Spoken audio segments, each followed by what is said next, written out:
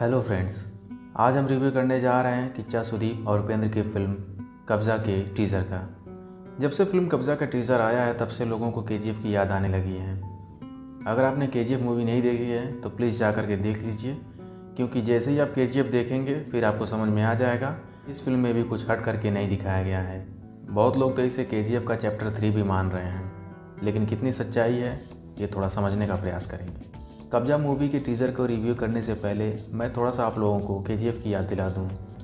जिस तरीके से के में के यानी कि कोलार गोल्ड फ़ील्ड को हथियाने के लिए बड़े बड़े दिग्गज लोग लगे हुए हैं और लास्ट में उसे रॉकी भाई हथियार लेते हैं और वहाँ का वो बॉस बन जाते हैं। सुदीप और उपेंद्र की फ़िल्म कब्जा पैन इंडिया मूवी है इसमें उपेंद्र और किच्चा सुदीप की पहली झलक दिखाई दे रही है। साथ ही श्रिया शरण भी इसमें नज़र आती हैं, जो कि एक राजकुमारी या महारानी का रोल कर रही हैं।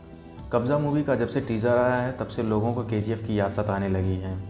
डेढ़ मिनट के इस टीज़र में आप लोगों को ऐसा लगेगा जैसे कि आप के का कोई दूसरा भाग देख रहे हैं। कब्ज़ा मूवी का जो बैकग्राउंड है, उसमें ऐसा लगता है जैसे कि के से ही कोई धुन उठाया गया है। अगर बात करें के और कब्ज़ा में क्या सिमिलैरिटी है तो कुछ पॉइंट्स को हम ध्यान में रख सकते हैं। जैसे उपेंद्र का लुक और यश का लुक एकदम एक जैसा ही दिखाया गया है। जिस तरीके से यश अपनी कार से बाहर निकलते हुए दिखाई देते हैं, उसी तरीके से फ़िल्म कब्जा में हमें उपेंद्र भी अपनी कार से बाहर निकलते हुए दिखाई दे रहे हैं। जिस तरीके से के में लोगों को अंधेरे में रख करके उनको गुलाम बनाया गया है, उसी तरीके से इस फ़िल्म के टीज़र में भी हमें लोगों को अंधेरे में और गुलामी करते हुए दिखाया गया है।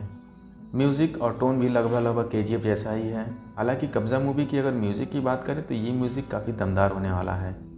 ऐसा लगता है जैसे कि के से काफ़ी सीन को कॉपी किया जैसे के में हमें यश की माँ को रोते हुए दिखाया गया था। इसी तरीके से हमें कब्जा मूवी के टीज़र में भी उपेंद्र की माँ को रोते हुए दिखाया गया है। तो कहीं ना कहीं ऐसा कहा जा सकता है कि ये के की तरह ही फ़िल्म है, लेकिन पूरी के की कॉपी नहीं है, क्योंकि आप लोगों को पता होगा कि साउथ इंडस्ट्री में लोग ओरिजिनल कंटेंट पे ज़्यादा काम करते हैं। फ़िलहाल जब फ़िल्म आएगी तो और भी चीज़ें सामने होंगी, तब तक हमें इंतज़ार करना होगा। फ़िलहाल देखते हैं कि ये फ़िल्म कैसी होने वाली है। लेकिन एक बात तो तय है कि ये फ़िल्म जब आएगी तो बॉक्स ऑफ़िस पर बहुत बड़ा धमाका करेगी। फ़िलहाल आप लोगों को कब्ज़ा का टीज़र कैसा लगा, ये आप हमें कमेंट बॉक्स में ज़रूर बताएँ।